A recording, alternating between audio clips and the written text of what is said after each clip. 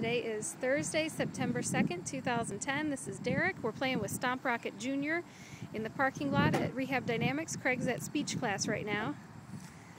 Derrick's going to jump off of this uh, light post onto his rocket.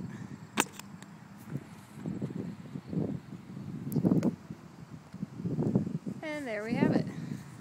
Good job, buddy. we get the rocket? Go ahead, get the rocket.